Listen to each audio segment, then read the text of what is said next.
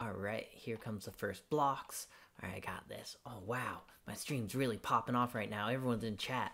They love me. They love me. They love this. All right, all right. Come on. I got this. I got this. Come on, come on, come on, come on, come on. I love me some Tetris. Ooh, it's getting a little stressful right now. There's too many people watching. I'm choking up. I'm choking up. So perhaps I wasn't meant to be a professional Tetris streamer. But you know what I can do? I can 3D print Tetris blocks. Let's look at how to do that now. We have the basic Tetris shapes. Uh, did you know they have names? For example, the L-shaped one is called Ricky. I'm gonna try and draw some of these in isometric. So I've got my picture here and then my drawing here. Let's start with the easy one. Let's try this 2 by 2 square, which is called Smash Boy. Alright, I'm going to pick a point to start, and I'm going to move 1, 2. Alright, that'll be my bottom. Now I'm going to go up. 1, 2. Alright, I have to stay parallel. Um, the bottom edge and the top edge of Smash Boy are parallel. So my lines on my isometric drawing also have to be parallel. Edges, the vertical edges are parallel as well. Alright. Now, I don't know how thick Tetris blocks are, but I'm going to assume they're one block wide. Just like that, I have modeled Smash Boy. Let's try another.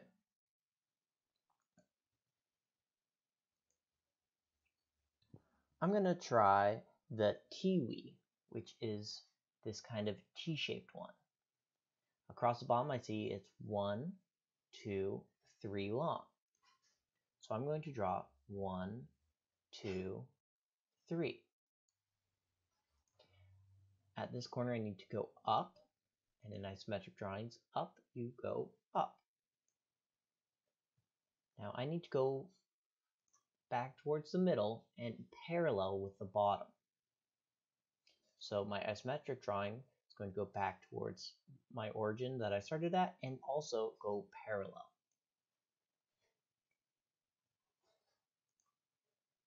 I'm going to want to go up. Up is still straight up. And then again, parallel to go over. And I can kind of see where this was going. All right, now to pull it into 3D, I'm going to fill in the rest of my boxes. And I am left with the Teewee. Excellent. I think I'm done. I'm ready to do some 3D modeling. I'm now at tinkercad.com and I'm going to click Create New Design. This is going to take me to a brand new workplace. There's a few things I want to point out first. Down here is the snap grid.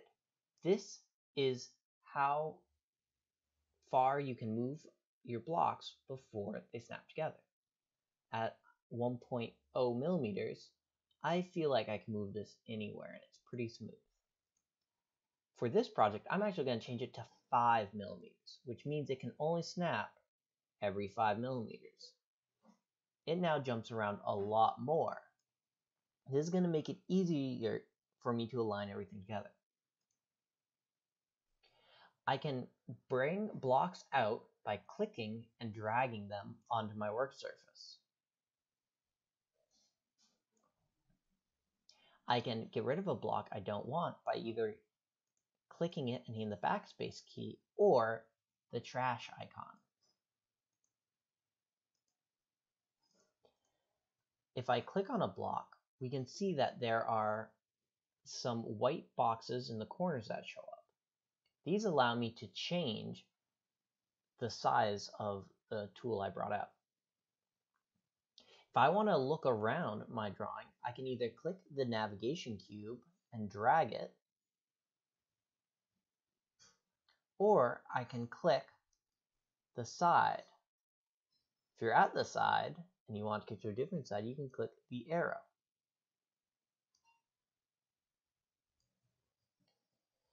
If you're using a mouse, you can also right click anywhere and then drag the world around.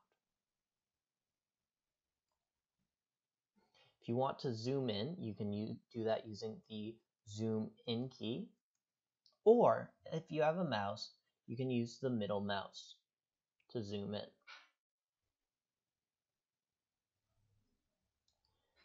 If we zoom in enough, we'll notice that this cube has converging lines. This is like how we draw in two point and one point perspective. This is what makes things look 3D. There's a button down here called orthographic. And this is a lot like isometric drawing, where lines that are parallel stay parallel. Notice this grid in the background. If I switch to perspective view, the boxes close to me are larger than the boxes further away. And I feel like we could figure out the vanishing point by following these lines to where they'd meet. As soon as we click orthographic view, all the boxes are the same size, regardless of how far away they are from the camera. And all the lines are parallel. I'm going to work in orthographic view because it's very easy for me to align objects. I'm going to try and make the L block in Tetris. The first thing I'm going to do is I'm going to change this block. I need to make it smaller. If I left click on the white corner box, then these measurements will stay up. I want to be very precise. So I can, I'm going to left click the number. Now I can type in 10. I want these to be 10 millimeters on a side. I've done the left and the right side, but how do I do how tall it is?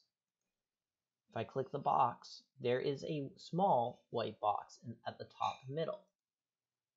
By clicking that, and then clicking the number box, I can then type in whatever I want.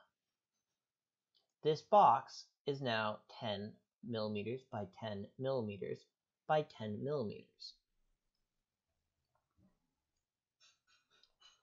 I want to make more of these boxes. I want this cube to be my basic building shape.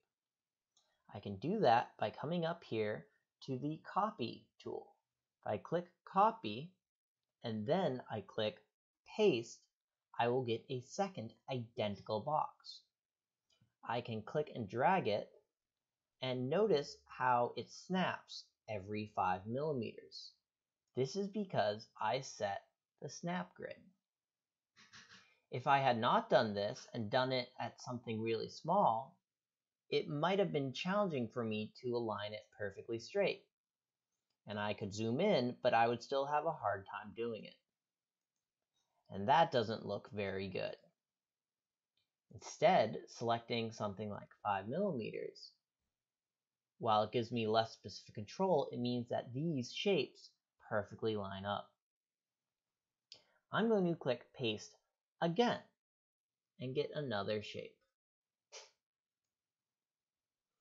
One more paste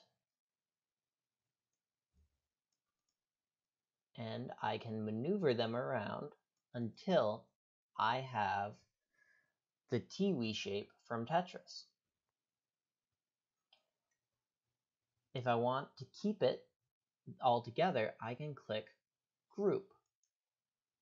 Now this is one solid shape. Clicking and dragging them means they all move together. I can also change the color. If I want it to be yellow, or dark blue, or even white. This model is now ready to be 3D printed. I'm going to make the rest and then 3D print myself a collection.